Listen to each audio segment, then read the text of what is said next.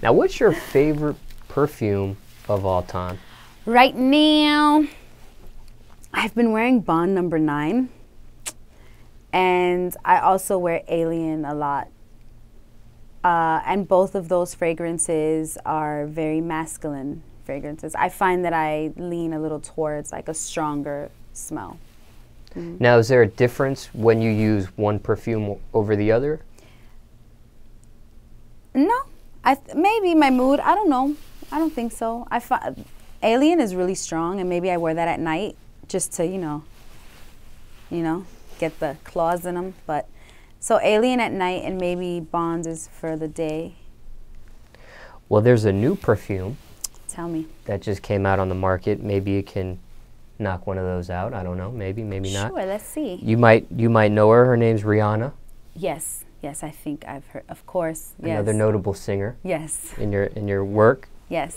Um, she just put out a perfume called Riri. I wanted to see if we can get your honest opinion on it, to see what you think. I like the packaging so far.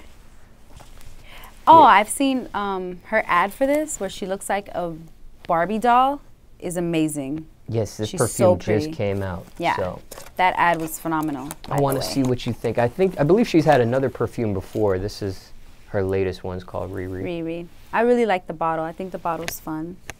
I like it. And now the ultimate test right here. Let me see.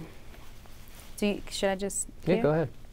Uh, I have perfume on. I hope it doesn't like interfere. Or maybe you hit it in the air, maybe. I kind of already rubbed it. Oh, I really like it. describe that smell. It smells like citrusy. I smell citrus, right? And it's soft.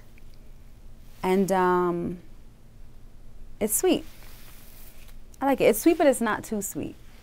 So I like it. I really appreciate the citrus in it. Maybe grapefruit? I'm not really sure if any of this is accurate at all.